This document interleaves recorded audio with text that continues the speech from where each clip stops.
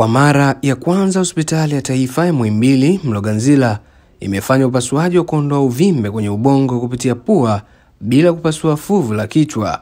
Upasuaji huo umefanywa na madaktari bingwa wa Mloganzila kwa kushirikiana na daktari kutoka nchini Marekani.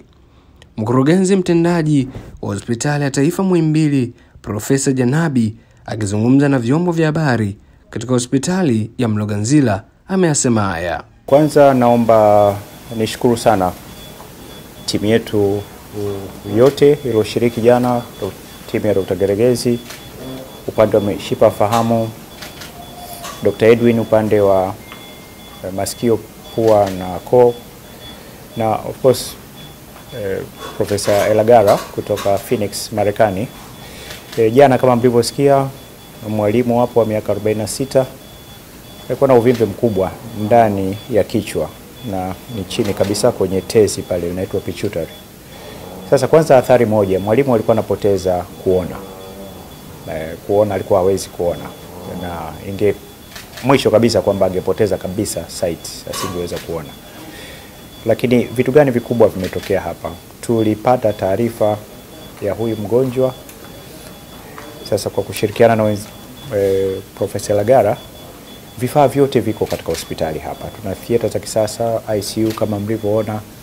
Tukasema huyu mgonjwa badala ya kukimbizwa India, kwa sababu anafundisha Brisbane International School, wana uwezo mkubwa kabisa wa kuweza kumpeleka mgonjwa India. Tukawashauri kwamba kwa nini msije tukafanyia hapa, tutafanya pamoja na Dr. Lagara. Sasa kikubwa hapa kwanza, kama alivyoeleza Dr. Edwin, kwa kawaida tungepasua kichwa chote alafu kutoa uvimbe lakini kama mlivyomwona mgonjwa, ule uvimbe umetolewa kupitia kwenye pua, na mgonjwa kama mlivyomwona pale anatutambua sisi wote, anatambua madaktari waliomfanyia operation.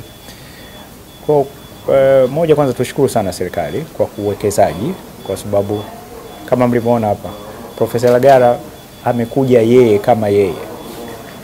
E, manesi wote ni wa kwetu, walioingia kwenye njia ya pua ni madaktari wetu kina Edwin kwa yeye na timu ya Dr. Nyeregezi ni katika kutoa ule uvimbe kule ndani, na kama alivyosema ushirikiano utaendelea, na tunaamini baada ya kufanya kesi chache huko mbele kesi zote zitafanywa na timu yetu ya ndani, kwa sababu vifaa vyote vipo. Nishukuru sana timu ya huku inaongozwa na Dr. Magandi, na ni rai yangu tu kwa raia wa wananchi wote, kwanza kuhusu bima naomba watu wakate bima kwa sababu operation hii ni kubwa, lakini huyu mwananchi ana bima, ndio ilofanya kila kitu kimekuwa covered na bima na siku zote atakazokaa hapa.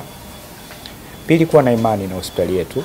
Kama mnavyoona mgonjwa uh, yuko ametamka, vitanda vyetu vyote vya ICU viko ready full.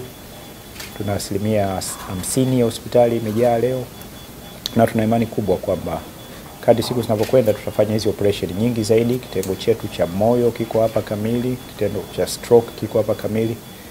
Kwa haya matibabu ubobezi yatazidi, mtazidi kuyaona yakiendelea kwenye hospitali yetu ya Muhimbili pande zote mbili, kule mjini Upanga na hapa Mlogazila Na hapa imekuwa bora zaidi kwa mgonjwa huyu kwa sababu tuna nafasi kubwa zaidi ya kufanya mazoezi tuna nafasi kubwa katika ICU bila kuwa na msongamano mkubwa kama tulivyopanga.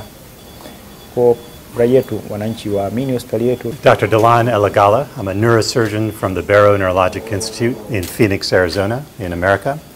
Um, the case that we did yesterday is a complex skull base uh, tumor. It's a, a tumor coming from the pituitary gland, but it's an unusual case where the base of the skull had to be drilled out in order to access the tumor and take it out. Um, this is really, um, and the patient uh, is doing well. We, uh, we believe we got all of the tumor out, and today uh, he's doing extremely well.